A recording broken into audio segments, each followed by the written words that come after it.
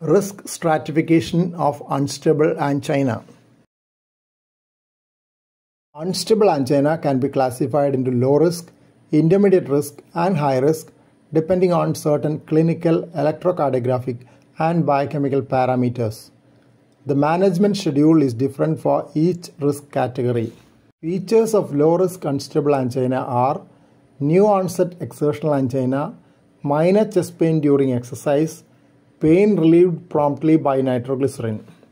Low risk unstable angina can be managed safely as an outpatient, assuming close follow up and rapid investigation. Features of intermediate risk unstable angina are prolonged chest pain, diagnosis of myocardial infarction ruled out. Management schedule for intermediate risk unstable angina.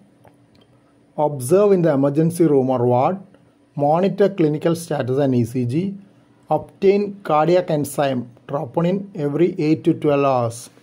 Features of high risk unstable angina are recurrent chest pain, ST segment change, hemodynamic compromise, elevation in cardiac enzyme, management schedule of high risk unstable angina, monitor in the coronary care unit and consider early invasive strategy.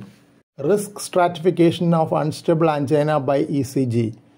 The risk of death or myocardial infarction at 30 days strongly related to ECG during pain. ST depression 10%, T wave inversion 5%, no ECG changes 1 to 2%. TIMI risk score for unstable angina. In TIMI risk score for unstable angina, one point each is assigned for the presence of age more than 65 years, documented prior coronary artery stenosis more than 50%, three or more conventional cardiac risk factors.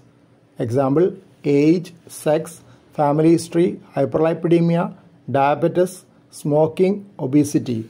Use of aspirin in the preceding 7 days, two or more anginal events in the preceding 24 hours, ST segment deviation, transient elevation or persistent depression, increased cardiac biomarkers.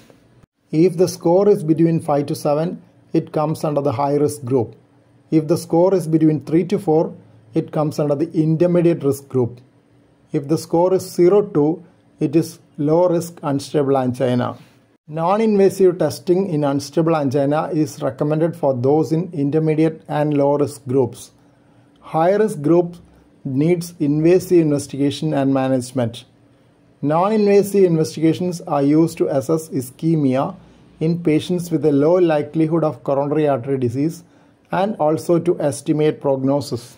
Modalities for non invasive evaluation are exercise ECG stress test, exercise test imaging nuclear, pharmacological stress test with imaging nuclear or echo. Choice of test is based on resting ECG, ability of patient to exercise, expertise availability. Non-invasive testing in unstable angina is recommended in low-risk patients who are free of chest pain and heart failure for a minimum of 12 to 24 hours. It is recommended in intermediate risk patients free of chest pain and heart failure for a minimum of 2 to 3 days. High risk group needs early invasive strategy. Please don't forget to subscribe to this channel for future updates and click on the bell icon for all updates. Thank you.